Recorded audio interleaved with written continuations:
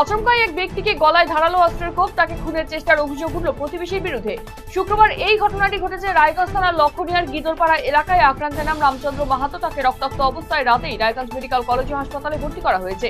বর্তমানে তার অবস্থা অত্যন্ত আশঙ্কাজনক বলে জানা গিয়েছে। এদিকে ঘটনার পর থেকেই ফেরার অভিযুক্ত সন্দীপ মাহাতো। অভিযুক্তের শাস্তি চান আক্রান্তের পরিবারের সদস্যরা। ঘটনা তদন্ত শুরু করেছে পুলিশ। প্রায় দু সপ্তাহ ধরে নিখোঁজ এক গৃহবধূ। এই ঘটনায় শ্বশুরবাড়ির বিরুদ্ধে অভিযোগ এনেছে গৃহবধূর পরিবার। ঘটনাটি ঘটেছে মালদার হরিশ্চন্দ্রপুরে বড়ুই পঞ্চায়েতের বারোঘরিয়া এলাকায়। এই ঘটনায় হরিশ্চন্দ্রপুর থানায় নিখোঁজের অভিযোগ দায়ের করেছে গৃহবধূ স্বামী আলাউদ্দিন আহমেদ। যদিও ওই গৃহবধূর হারিয়ে যাওয়ার পেছনে শ্বশুরবাড়ির লোকেদের ভূমিকা রয়েছে বলে অভিযোগ তার পরিবারের শনিবার পঁচিশে মে দিনটি বিদ্রোহী কবি কাজী নজরুল ইসলামের জন্মদিবস হিসেবে পরিচিত। এই বিশেষ দিনে সারা বাংলায় পালিত হচ্ছে নজরুল জয়ন্তী। একই ছবি রায়গঞ্জে। এদিন রায়গঞ্জ পৌরসভার উদ্যোগে কবি কাজী নজরুল ইসলামের জন্মদিবস পালিত হয়।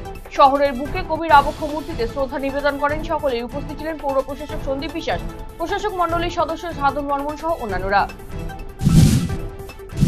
মহাসমারোহে পালিত হল দেবর্ষী নারদমুনির জন্ম জয়ন্তী বিশ্ব সংবাদ কেন্দ্রের শাখার উদ্যোগে কালিয়াগঞ্জে শেঠ কলোনি প্রাথমিক বিদ্যালয়ে দেবর্ষী নারদ জয়ন্তী পালন করা হয়।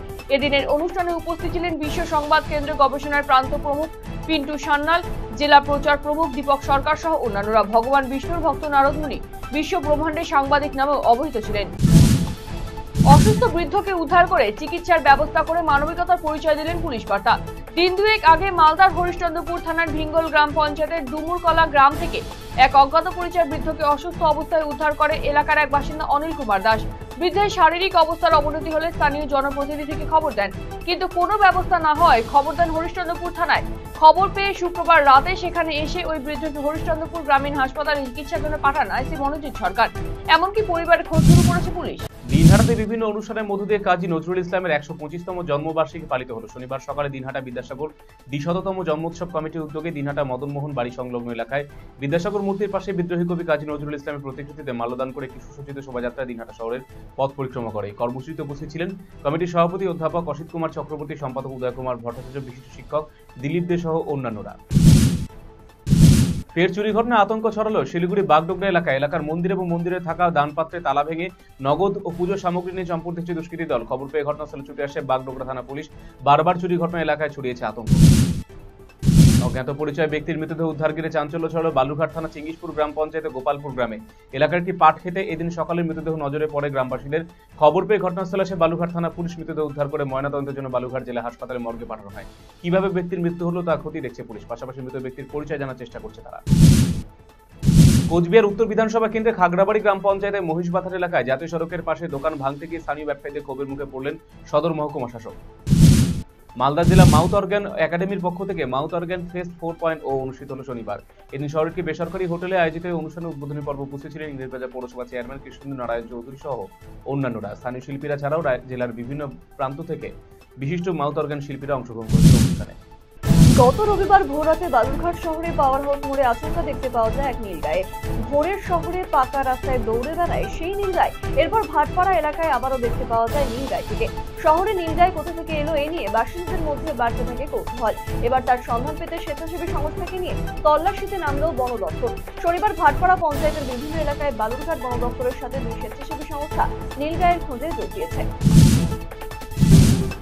উত্তর দিনাজপুর জেলা তথ্য এবং সংস্কৃতি দপ্তরের উদ্যোগে শনিবার পালিত হল নজরুল জয়ন্তী। রায়গঞ্জের কর্ণচড়ায় অবস্থিত জেলা তথ্য এবং সংস্কৃতি দপ্তরে একটি অনুষ্ঠানের আয়োজন করা হয়।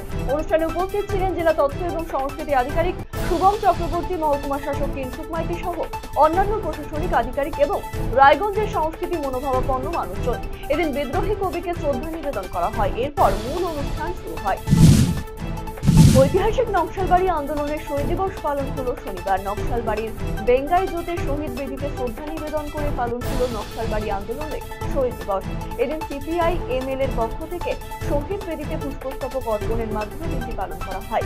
এদিন নকশালবাড়ি খড়িবাড়ি এবং ফাঁসি দেওয়া সংগঠন থেকে সদস্যরা শ্রদ্ধা নিবেদন করেন। উল্লেখ্য, উনিশশো সাতষট্টি সালের পঁচিশে মে নকশালবাড়িতে পুলিশের গুলিতে মৃত্যু হয় এগারো জনের। শহীদদের শ্রদ্ধা নিবেদন করতে প্রতি বছর এই দিনে শহীদ দিবস পালন করা হয়। মালদা ইংরেজবাজার পুরসভা এবং মালদা শিল্পী সংসদের উদ্যোগে কাজী নজরুল ইসলামের একশো পঁচিশতম জন্ম জয়ন্তী পালিত হল শনিবার। এদিন মালদা শহরে নজরুল স্মরণীতে স্থাপিত বিজয়ী কবির আবক্ষ মূর্তিতে মাল্যদান করে শ্রদ্ধা নিবেদন করেন ইংরেজবাজার পৌরসভার চেয়ারম্যান কৃষ্ণেন্দু নারায়ণ চৌধুরী, কাউন্সিলর সুব্রত সর্দার শিল্পী সংসদের সম্পাদক মলয় সহ অন্যান্যরা এই উপলক্ষে পরিবেশিত হয় নজরুল গীতি, কবিতা সহ নানান অনুষ্ঠান। আগামী রবিবার আছড়ে পড়বে ঘূর্ণিঝড় রেমাল। সারা রাজ্যের পাশাপাশি তার প্রভাব পড়তে পারে মালদাতেও। সেই দিকে লক্ষ্য রেখে তৎপর হচ্ছে মালদা জেলা প্রশাসন ইতিমধ্যে সমস্ত দপ্তরের পাশাপাশি মৎস্যজীবী সহ জেলার বিভিন্ন ফেরিঘাটের কর্তাদের নিয়ে বৈঠক করা হয়। আগামী ছাব্বিশ এবং সাতাশ তারিখ এই দুই দিন জেলার সমস্ত ফেরিঘাট বন্ধ থাকবে। মৎস্যজীবীদের নদীতে নামতে বারণ করা হয়েছে। জেলা প্রশাসন ভবনে খোলা হয়েছে চব্বিশ ঘণ্টার হেল্পলাইন। আপৎকালীন পরিস্থিতির মোকাবিলায় প্রস্তুত থাকতে বলা হয়েছে সমস্ত ব্লক প্রশাসনের কর্তা ব্যক্তিদের